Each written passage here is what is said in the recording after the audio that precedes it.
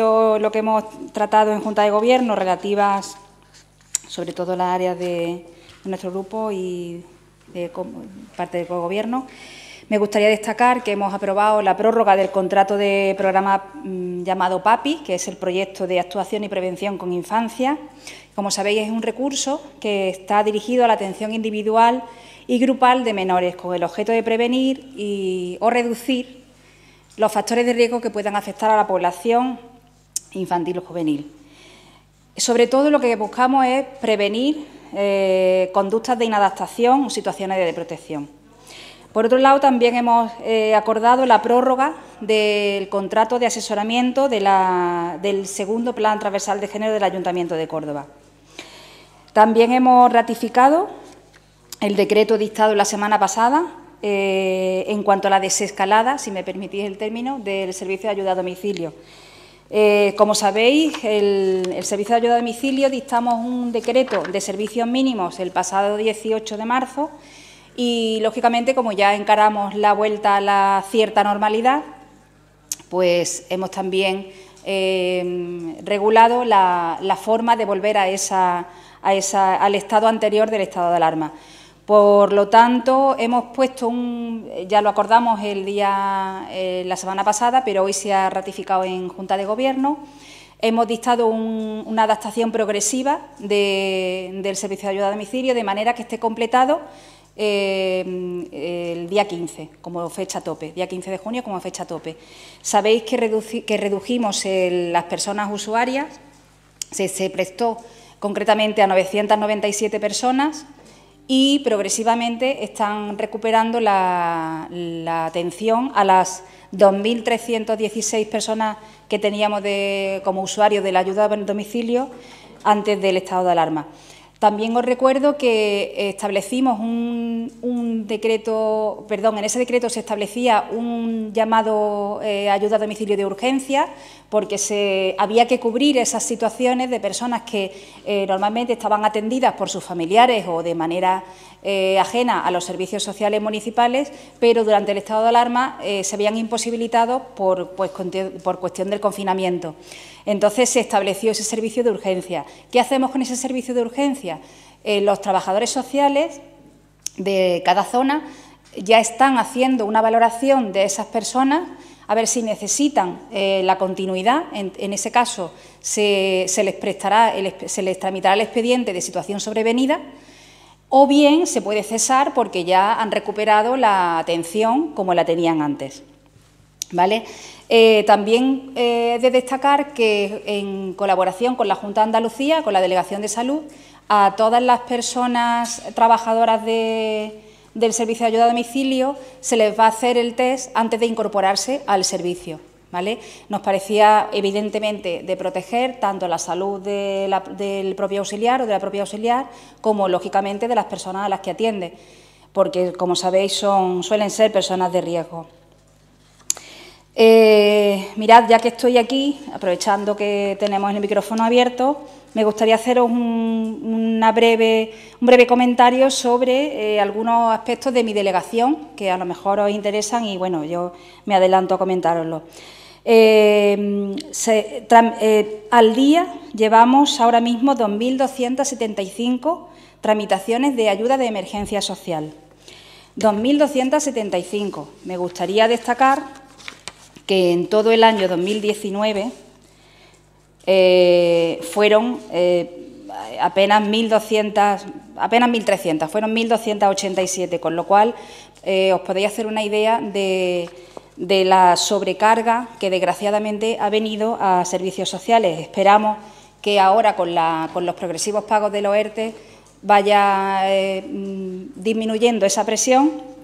También la renta mínima de inserción social está provocando esa, regularización, está, haciendo también, como eh, ya estáis, sois conocedores, que muchas personas estén ya recibiendo su renta mínima y eh, estamos también eh, expectantes a cómo se va a hacer esa, esa gestión del ingreso mínimo vital.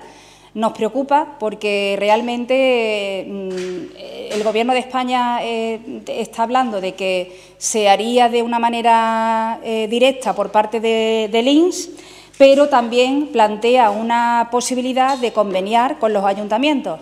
Eh, un convenio con los ayuntamientos que resulta que cuando lees el articulado no mm, contempla contraprestación económica de los ayuntamientos para contratación de personal. Como imaginaréis, este ayuntamiento y todos los de España estamos ya suficientemente sobrecargados como para hacernos cargo ahora, además con, el, con fondos, con el personal propio, de, esa, de lo que supondría la gestión del ingreso mínimo vital, que como sabéis en Córdoba, desgraciadamente, son muchas las personas, las familias que van a ser eh, beneficiarios de ese ingreso mínimo vital, con lo cual estamos a la expectativa a ver si el Gobierno de España pues, se aclara en cuanto a qué gestión, eh, qué modelo de gestión va a, elegir. Y, en todo caso, desde luego, esperamos que entienda la demanda de, nuestro, de los ayuntamientos, que creo que es, eh, vamos todos al unísono, de que evidentemente ese convenio tiene que venir con una dotación económica tal y como se hace con la renta mínima de inserción.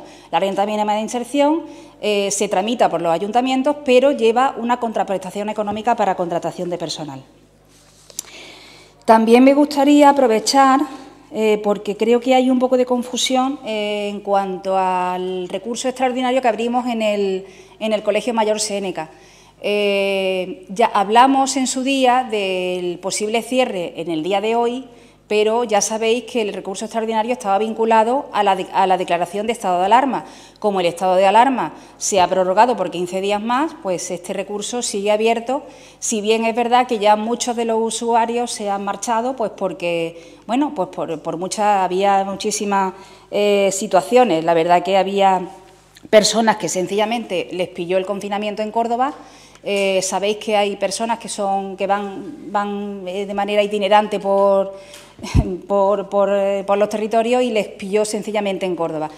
hay otras personas que estaban alojadas en, pensiones, en hostales y ante el cierre pues se vieron en situación de calle, pero todas estas personas que tenían recursos económicos ya se les tramitó la, la, vuelta a su, a su estado normal.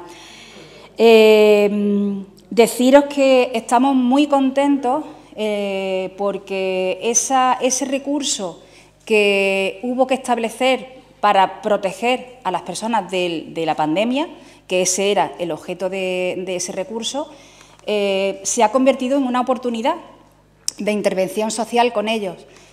Eh, quiero deciros que todas las personas que salgan del recurso ya se han ido, de hecho, muchas que están trabajando, eh, porque se les ha buscado puestos de trabajo eh, desde, los profesionales que están atendiendo el, recurso, que todas las demás eh, están encontrando soluciones de una manera u otra, estamos trabajando con ellos para que todas las personas que vayan se vayan con un acompañamiento, con toda su documentación renovada, con solicitudes de empleo, con sus solicitudes de ingreso mínimo, eh, de renta mínima vital, perdón, y eh, esperamos que dé tiempo, y si no, se, continuará con ellos ese acompañamiento para la tramitación del ingreso mínimo vital, con lo cual eh, la verdad es que estamos realmente contentos, sobre todo porque ha habido personas que, gracias a la intervención de los profesionales, de las profesionales que hay en el, en el recurso, han mm, retomado los lazos familiares, que llevaban muchos años perdidos. Hay personas que han vuelto a sus domicilios, a sus casas, con sus familias, y esto evidentemente es una satisfacción que va mucho más allá del deber profesional. También nos congratula especialmente que hay personas que han retomado sus eh, terapias de desintoxicación y entendemos que esto es realmente importante porque implica una, voluntad que habían perdido y que han recuperado gracias a la estancia en este recurso. También eh, en ese aspecto hay que resaltar eh, la labor de la, de la, Delegación de Salud de la Junta de Andalucía, que han estado trabajando codo con codo, durante todo este tiempo, eh, yendo diariamente, eh, preocupándose de que también puedan retomar sus, terapias en, relación a tratamientos psiquiátricos, que hay muchas personas que también tienen, eh, presentan enfermedades mentales, y la verdad es que el trabajo, la labor sociosanitaria que se está haciendo con esas personas, pues creo que son claramente el ejemplo de que de toda de toda situación mala se puede sacar algo bueno, como ha sido, en este caso, eh, la intervención sociosanitaria que se está, se está llevando a cabo con todas estas personas. Eh, por mi parte, nada más. Le dejo. Muchas gracias, Eva. Muchas gracias a todos. En primer lugar, pedir disculpas a todos los que me cruzo estos días por la calle con mascarilla, no lo reconozco. Así que nada, perdona, Isma, el otro día te vino, sabía que eras tú, eh, me pasa muy a menudo. Y nosotros, respecto a las delegaciones del Partido Popular, lo que nos gustaría resaltar hoy es que hemos dado vía libre a la continuación con las oposiciones a las 21 plazas de eh, bombero conductor que, como sabéis, se habían paralizado por dos cuestiones. En primer lugar, por eh, la situación generada por el estado de alarma, que suspendió todos los plazos administrativos, también respecto a las oposiciones. Y, en segundo lugar, por una serie de recursos que se habían, habían planteado eh, opositores. En concreto, hoy hemos desestimado siete recursos, de tal forma que a partir de ahora ya queda vía libre para retomar estas oposiciones. En un área para nosotros vital y unos puestos para nosotros fundamentales, como son los de las 21 plazas de bombero conductor, y que esperamos que para finales de este mes de junio pueda celebrarse la última prueba y a partir de ahí pues, pueda darse con los plazos de formación y demás la reincorporación eh, o la incorporación, mejor dicho, inmediata eh, de los 21 bomberos conductores que tanta necesidad tenemos en la plantilla del Servicio de Extinción de Incendios y Salvamento de Córdoba. Eso es lo que yo más resaltaría. Y a partir de ahí, bueno, pues estamos tanto Eva como yo a disposición vuestra de las preguntas que tengáis sobre las cuestiones de la Junta de Gobierno o sobre otras cuestiones. Estaba hecha el ejercicio de eh, conducción y ahora falta un ejercicio práctico de conducción, creo que es, que es lo que, lo que falta por hacer y bueno, cuando se resuelva pues ya se darán las notas y se darán las personas que, que pasan a, a las plazas de formación que la formación bombero en este caso es menor, creo que hablamos de unos seis meses, está allí el coordinador que me lo confirma. Entonces, para finales de año, si todo va bien, podremos tener incorporados estos 21 nuevos bomberos conductores a la plantilla de Córdoba. La de las 97 plazas de policía fueron, quedaron suspendidas por el estado de alarma y estamos esperando, estamos esperando retomarlas también. Esa no tenemos fecha cierta todavía para el ejercicio, entre otras cosas porque las de bomberos, al ser ya el quinto ejercicio, el número de aspirantes va a ser bastante menor y se puede realizar en las condiciones de seguridad y distanciamiento que requiere. Eh, las 97 plazas de policía local se prevé que haya miles de eh, aspirantes, entonces la logística, como todos comprenderéis, se ha complicado un poquito con la nueva, con la nueva situación. ¿Nada más? Bueno, sí, Pablo.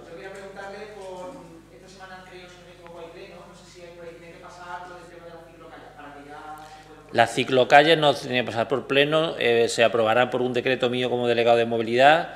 Eh, recibimos ayer la propuesta del Movimiento Ciudadano, la contestación, y bueno, pues falta ultimar el decreto y a lo largo de esta semana seguramente se quedará ya presentada el decreto y lo daré a conocer a lo largo de esta semana, tirando para finales de la semana, para que lo tengáis en vuestras previsiones también. Vamos, el viernes.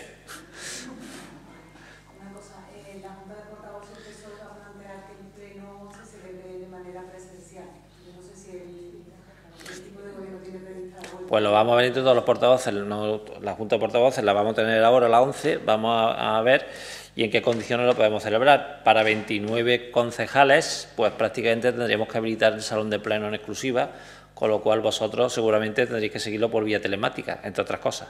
Entonces no lo hemos planteado y, no lo hemos...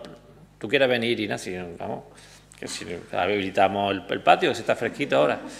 Eh, no lo sé, vamos a ver qué condiciones, qué opina el resto de portavoces. No es la primera vez que se plantea y normalmente hay otros portavoces, y no precisamente los del equipo de gobierno, que no están de acuerdo con hacerlo de esa manera. No lo sé. En cualquier caso, creo que en esta fase 3 las reuniones están limitadas a 20 personas.